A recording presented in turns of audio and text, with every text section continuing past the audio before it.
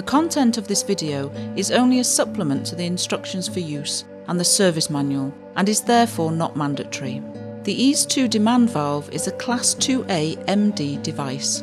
EASE 2 is a self-administering respiration device to be used for MEOPA. EASE 2 demand valves are reusable and replace the non-reusable kits. When the administration of gas has been completed, close the cylinder valve and push the test button to depressurise. You can now disconnect the demand valve from the quick connector. Please proceed to dismantling before cleaning. Unscrew the blue part from the demand valve. Remove the silicone valve flaps from the patient port and inhale disc. During removal, please handle the pieces with care so as not to damage these parts.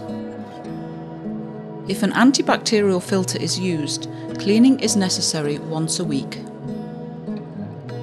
Follow one of the cleaning procedures below according to preference.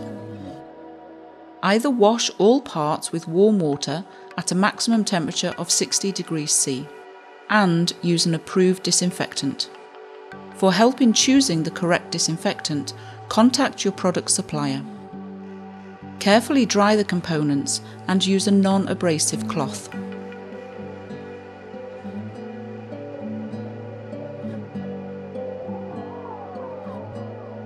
Or put the parts in an autoclave for 5 minutes at 134 degrees C or for 20 minutes at 121 degrees C.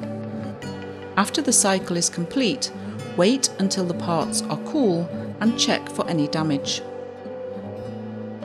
Or use cold disinfection. For cold disinfection, it is recommended you use a formulation containing the active ingredient sodium perborate.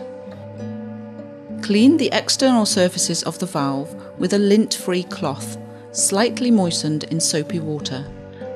Dry with a lint-free cloth. Disinfect the outer surface with Surfanios disinfecting wipes.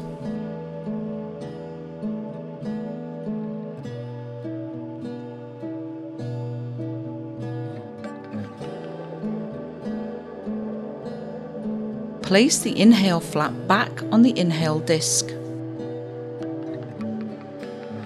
Make sure the rim is placed over the inhale disc and the letters, these words visible, are facing up. Place the inhale disc assembly into the demand valve.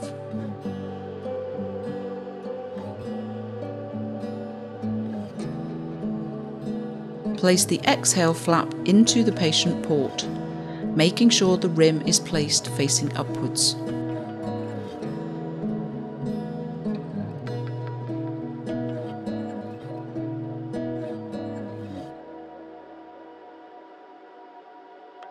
Screw the patient port onto the demand valve.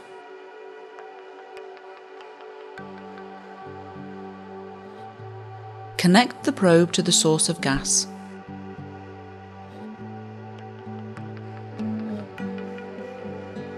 Open the bottle. Caution, do not open the flow selector. It needs to stay on 0 litres per minute for setup. Unit should be checked by lightly pressing the test button. Gas should be heard flowing through the mask or mouthpiece.